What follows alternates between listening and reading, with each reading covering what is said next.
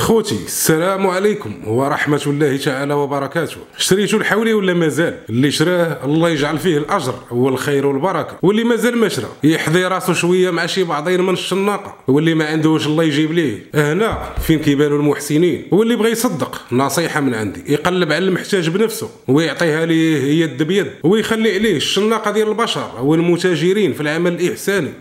وما أكثرهم في مثل هذه المناسبات. عيدكم مبارك سعيد بدوام الصحة والعافية وطول العمر إن شاء الله. وندوز الآن لموضوع حلقة اليوم بعد الفاصل.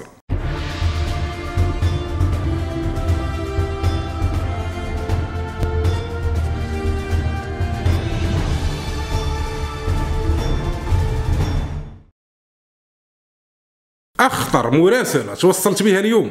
من طرف أحد المتابعين الأوفياء ديال القناة.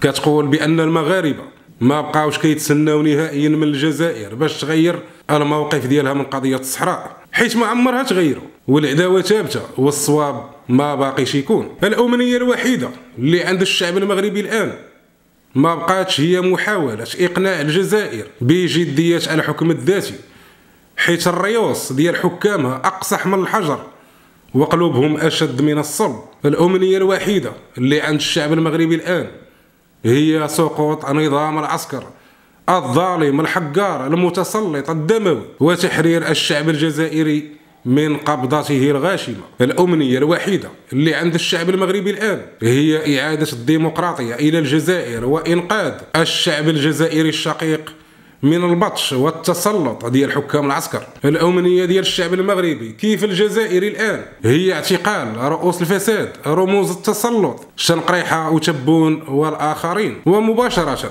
بعد الاعتقال يجب تسليمهم إلى السيد فرحات مهني رئيس جمهورية القبائل المحتلة. وذلك من أجل محاكمتهم محاكمة شعبية. وإصدار الحكم المناسب في حقهم اعتراف المغرب بجمهورية القبائل الشقيقة وقراره دعم استقلالها من الاحتلال الجزائري الغاشم في أطول فترة استعمار لدولة مغاربية بشمال أفريقيا. خربق كل الأوراق ديال حكام العسكر وتصابوا بالجهلة والسعار وطلقوا علينا بيادقهم والمأجورين ديالهم في الإعلام الأصفر والدكاكين الحزبية الانتهازية. البرلمان ديالهم قال لك سيدي حتى هو ناض. وقرر باش يدخل لهذا المعمعة بتعليمات عاجلة من الجنرال شنقريحة. وقال لك ما غاديش نسكتوا على النظام المخزني. وهادشي اللي دار راه ما فيه ما يصلح وما غاديش يدوز هادشي بخير وعلى خير. اودي إلا بغيتو تسمعوا مني أنا شخصيا كلام معقول فراه المغرب هو اللي والله ما غادي يسكت وما غاديش يدوز لكم هاد التحرميات ديالكم. بزاف وبزاف على صبر أيوب. حوالي خمسين عام ديال الصبر. ودابا وصل الوقت المعقول ودقت ساعة النصر والحسم والحزم وسيرى الأنذال أي منقلب سينقلبون. والله لو تطاول الأعداء علينا لا نمرغن أنوفهم في التراب. حاولوا وسترون إن شاء الله. البادي أظلم وعلى الباغي تدور الدوائر. ما عمر كان المغرب مشكل مع الجزائر حكاما وشعبا. وما عمر المغرب كان هو البادي. المغرب كان دائما محايد. وما كيتدخلش في شؤون الدول الأخرى. وما عمره طالب نهائيا في أي يوم من الأيام بدعم أي حركة انفصالية ولكن الجزائر أو بالأحرى الحكام ديالها ما بغاوش يعطيونا أشبار ديال الاتساع وما بغاوش يعطيونا التقار وبينوا العالم كله بأن أسنانهم لوبي على بلادنا. كيف كيقول أنا مثلا المغربي دابا شحال من واحد كيسولني مسكين؟ أش بان ليك السي البودالي في هذا ال plan اللي داروا المغرب؟ واش الجزائر تقدر دير شي حاجة؟ كنجاوبو حتى أنا بسؤال. وأنا ضاحك وكنقول ليه شنو زعما كتقصد با واش بغيتي تقول الحرب؟ واش خبارك يا أخي بأن الجزائر إلى فكرت في الحرب غادي تكون فتحات عليها أبواب جهنم؟ واش في خبارك بأن المتضرر الأكبر والخاسر الأوفر ما غاديش يكون هو المغرب؟ بالعكس غادي يكون هو نظام العسكر. نقول لك علاش. كيف كتعرفوا؟ بلادنا مثلا فيها مؤسسة عسكرية قوية والأهم اللي كيميز المؤسسة العسكرية في بلادنا هو أن المهمة الوحيدة ديالها هي تنفيذ تعليمات القائد الأعلى لأركان الحرب العامة جلالة الملك محمد السادس حفظه الله وأي إشارة منه. راكم عارفين النتيجة بلا ما نحتاج نعاود. العسكر ديالنا ما كيتدخلش نهائيا في السياسة وما كيعطيش تصريحات سياسية. كيف كيديروا؟ حكام العسكر. العسكر ديال بلادنا. ما كانوا في التكالات والحدود. كيف قال سيدنا الحسن الثاني الله يرحمه. أما على الطرف الآخر وكان قصد الجزائر فالعسكر ديالها كله مخربق القضية عنده. شي عينه في شي وشي حالف على شي وشي باغي يصفيها لشي.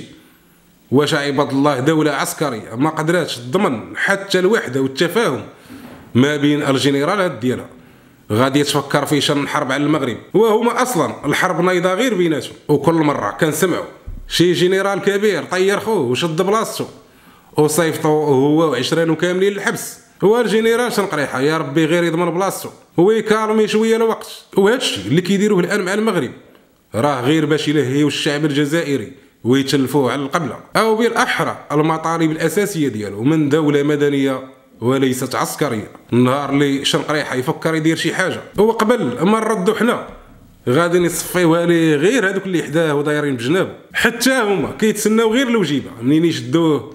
حي أو ميت. وربما هنا فين غادي يتحقق هذا الحلم الغريب؟ أي اعتقال شنقريحه وتبون ومن معهما وتسليمهم جميعا إلى المحاكمة. قضية الصحراء تصفية استعمار. إحنا ما عندناش مشكل مع مع المغرب الشقيق. نعم إنها المخدرات. تصرفات المحتل في المغرب إن الصحراء الغربية هي آخر مستعمرة في إفريقيا. إحنا ما عندناش مشكل مع مع المغرب الشقيق مع المغرب الشقيق.